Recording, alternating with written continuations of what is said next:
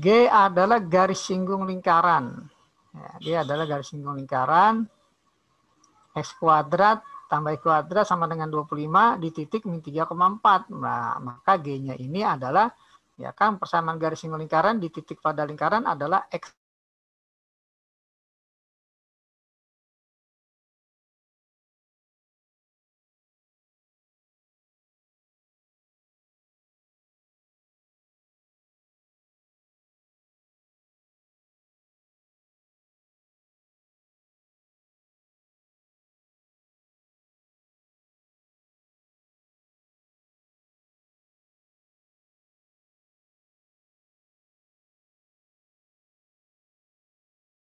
tambah 3x per 4 dikuadratkan minus 10x dikurang 55 sama dengan 0. Kita uraikan jadi x kuadrat tambah 25 kuadrat 625 tambah 2 kali 25 kali 3x ini 150x tambah 3x kuadrat 9x pangkat 2 dibagi 4 kuadrat 16 ya. Dikurang 10x minus 55 sama dengan 0 nah, sebentar. Ini saya harus gelap terus. Oke. Nah setelah itu ya tidak ada pecahan kita kali kedua harus dengan 16 ya. Jadi 16x kuadrat tambah uh, kita mulai dari 9x kuadrat. Nah x kuadrat tambah 150x tambah 625 dikurang 10x kali 16 jadi 160x uh, min 55 kali 16. 880, Pak. 880, oke okay, good. 880 sama dengan 0. Nah, ini kita jumlah jadi 20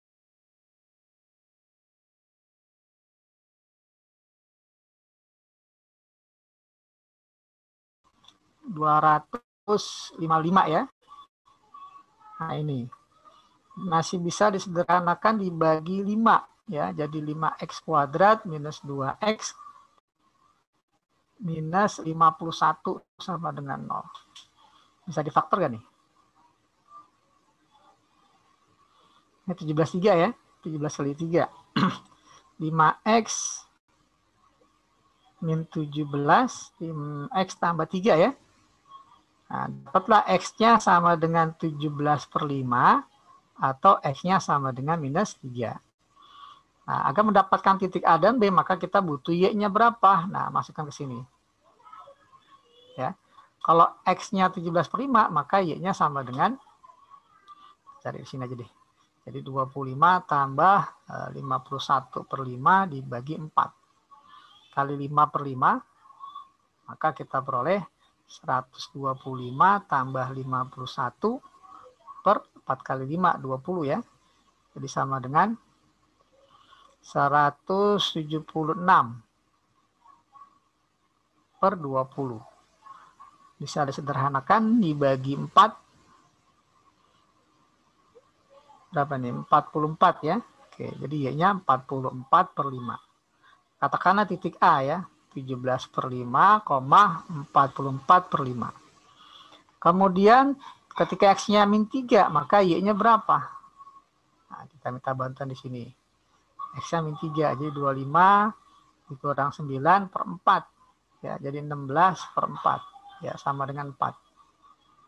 Ya, jadi ini Y-nya 4. Maka katakanlah titik B-nya di titik min 3,4. Pertanyaannya panjang ruas garis AB.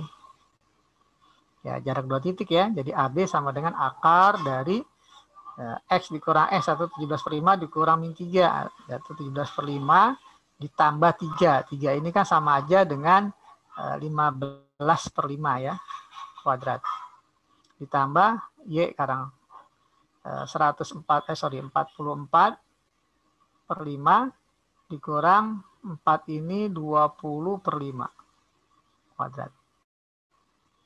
Nah, maka kita peroleh hasilnya ini 32 per 5 kuadrat ditambah 24 eh, ya per 5 kuadrat. Nah ini triple ya, triple Pitagoras nih 24, 32, maka satu lagi adalah 40 ya, jadi 40 per 5 pasti. Nah 45 bisa disederhanakan jadi 8. Maka panjang ruas garis AB adalah 8 ya untuk soal nomor C, eh, nomor 2. Oke ya, nah itu untuk pembahasan soal nomor 2.